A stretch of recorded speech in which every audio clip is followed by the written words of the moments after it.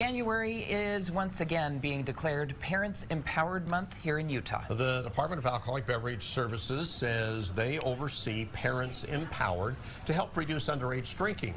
They say the declaration honors Parents Empowered, uh, Parents Empowered's work to keep kids alcohol free so they can grow up with healthy brains. I think it's really important not just to make sure that our kids understand that underage drinking is problematic for their long-term health, uh, but to make sure parents have the information. Go ahead and get started. Good afternoon. Overall, DABC says Utah underage drinking rates are at their lowest levels ever. Okay. Healthy brains. We all need that, don't we? We do, at all ages. Yes. Right? Anything we can do to help that. Okay.